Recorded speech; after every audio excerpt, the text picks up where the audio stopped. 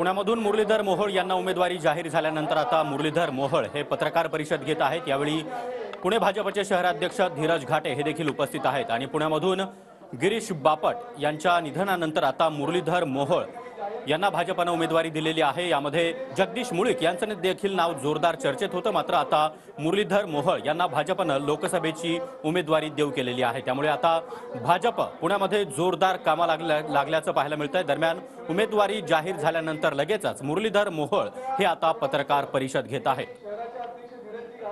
तर भाजपचे वीस उमेदवार एकूण जाहीर झालेले आहेत. त्यामध्ये सुभाष भामरे रावेरमधून रक्षा खडसे उत्तर मुंबईतून पियुष गोयल तर ईशान्य मुंबईतून मिहीर कोटेचा. आणि पुण्यामध्ये मुरलीधर मोहोळ यांना उमेदवारी जाहीर झालेली आहे आणि त्यानंतर आता मुरलीधर मोहोळ हे पत्रकार परिषद घेत आहेत.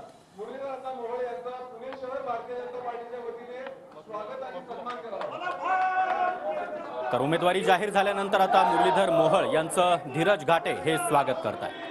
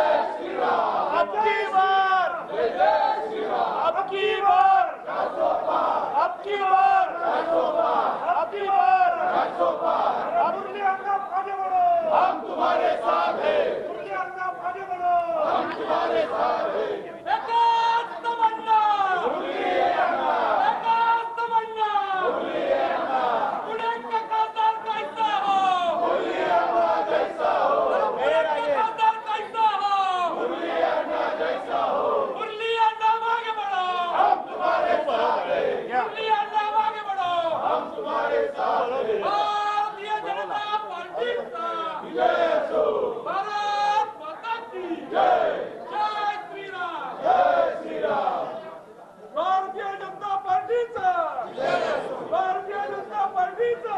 अरे देखो देखो आंखों से अन्ना आएगा लाखों से अरे देखो देखो आंखों से अन्ना आएगा लाखों से धन्यवाद सर्व कार्यकर्त्यांना विनंती आहे आपल्या सर्व मी सर्वप्रथम शहराचे अध्यक्ष सन्माननीय धीरजी घाटे यांना विनंती करतो की आम्हाला या पत्रकार परिषदेला सुरुवात करावी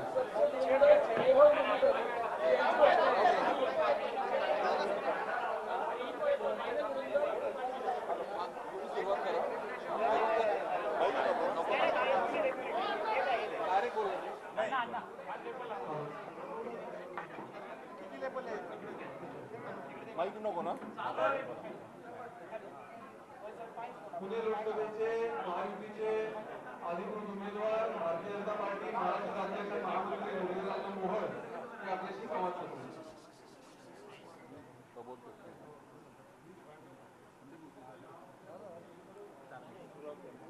भारतीय जनता पार्टीचा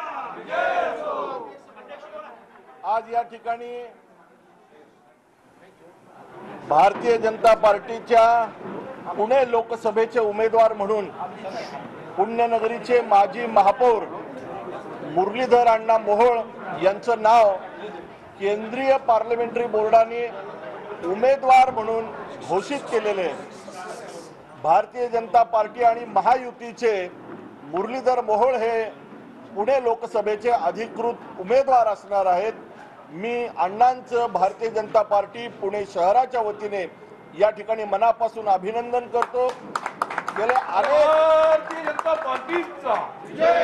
गेले अनेक दिवस गेले अनेक दिवस कार्यकर्त्यांमध्ये उत्कंठा होती की पुण्याचा भारतीय जनता पार्टी आणि महायुतीचा उमेदवार कोण असणार? आणि भारतीय जनता पार्टीने पुणे शहरातलं एक तरुण नेतृत्व ज्यांनी महापौर म्हणून पुणे शहरामध्ये अत्यंत चांगलं काम केलं कोविडच्या काळामध्ये पुणे महानगरपालिकेचं नेतृत्व करत सामान्य माणसाला दिलासा माझ्या जिल्ह्याचे माझ्या सगळ्या जनतेचे आणि देशाचे पंतप्रधान नरेंद्र मोदीजी आदरणीय गृहमंत्री अमित भाई शहाजी आदरणीय नड्डाजी आणि आदरणीय देवेंद्रजी फडणवीस साहेब आणि माननीय बावनकुळे साहेब. या सगळ्याच ज्येष्ठ नेत्यांनी जो विश्वास दाखवला आणि खऱ्या अर्थाने माझा मतदारसंघ एक ग्रामीण मतदारसंघ नाशिक जिल्ह्यातला आदिवासी बहुल मतदारसंघ त्या जनतेने जो विश्वास ठेवला पाच वर्ष त्या माध्यमातून सरकारची विकासाची कामं गावागावात पोहोचली. कदाचित मला असं वाटतं की तोच विश्वास आज परत एकदा चिर एक बार मोदी सरकार की बार चारसो पार ही आता लोकांची घोषणा झालेली आहे. मला असं वाटतं की त्या दृष्टीने आमचे सगळेच कार्यकर्ते या सगळ्यांनाच एक आनंदाचा जल्लोष आम्ही करतो आणि ही सामाजिक जाण ठेवून पुढच्या दृष्टीने या विकास यात्रेमध्ये आम्ही आमचं योगदान देणार आणि आमच्या ज्येष्ठ नेत्यांबरोबरच या देशाला परत एकदा परत एकदा नरेंद्र मोदीजींना आम्हाला पंतप्रधान करायचं त्या दृष्टीने आम्ही सगळे सोबत ताकदीने काम नक्कीच नाही, परंतु आपल्या लोकसभा मतदारसंघामध्ये महायुतीमध्ये अनेकांची नावे चर्चेत होती. आपल्याला त्या ठिकाणी अ, इच्छुकांची जी गर्दी ती देखील पाहायला मिळवती. यातून आता आपल्याला ही जागा जी आहे भाजपकडे गेलेली आहे. नाही याआधी अ, ह्या विषयावर चर्चा झाली होती की हा भारतीय जनता पार्टीचा मतदारसंघ राहिलेला आहे. यापूर्वी देखील चार वेळा आमचे तिथनं खासदार निवडून आलेले आहेत. मला असं वाटतं की अशा प्रकारे कुठलीही चर्चा किंवा हे नव्हतीच हा भारतीय जनता पार्टीचा बालेकिल्ला राहिलेला मतदारसंघ आहे. आमच्या सगळ्यांच्या समन्वयाने माननीय शिंदेसाहेब असतील मा- माननीय मुख्यमंत्री शिंदेसाहेब असतील. लोकप्रिय यशस्वी प- प्रधानमंत्री नरेंद्रजी मोदी आहेत.